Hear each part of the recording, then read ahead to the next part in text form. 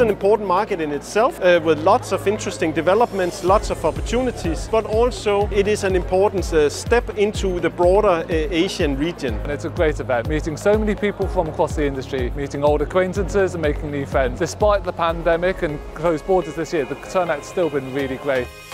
次的展览，我们发现有真的非常多的各国的 supply chain 都来加入这个市场。在第二天的时候，我们发现有许多的开发商也都有从台北下来这边跟我们的呃 supply chain 做互动。裕民风能航运呢是第一次参展，在这次的展览当中呢，我们横透过横向的连接呢，认识了非常多产业的朋友，对我们来说呢是一个非常好的曝光机会。I would highly encourage those looking at Wind Energy Asia this year to come and attend next year, whether as an exhibitor or as a participant.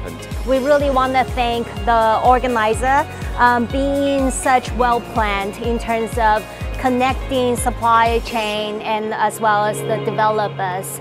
We'll see you next year.